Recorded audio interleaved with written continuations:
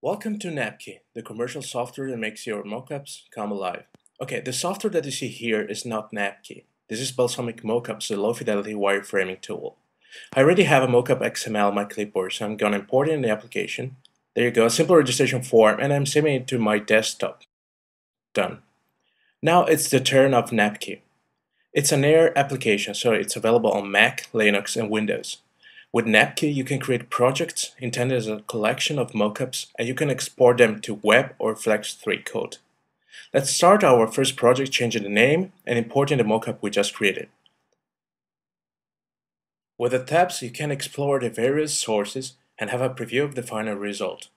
Since the export uses CSS, you can easily modify the appearance of the components. Let's work now with the two applications side by side. I'm not quite happy with the sign-in link and I want to replace it with a button.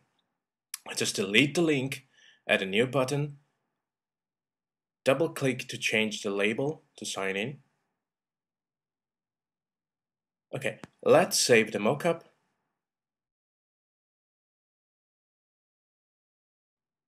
And boom, I have the preview that's automatically refreshed in Napkee.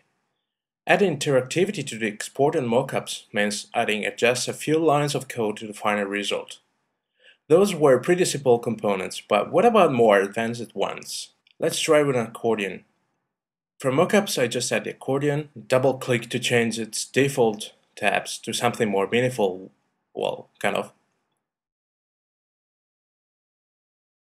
I also want to display the second tab by default, so I changed the selection property for the component properties window. Let's save again. And there you go. A beautiful jQuery accordion in our web page with the second tab open by default. And now the JavaScript source tab has also some code in it. I hope you liked this preview on Napkee. If you want, you can subscribe to the mailing list, follow Napkee on Twitter, or write me an email.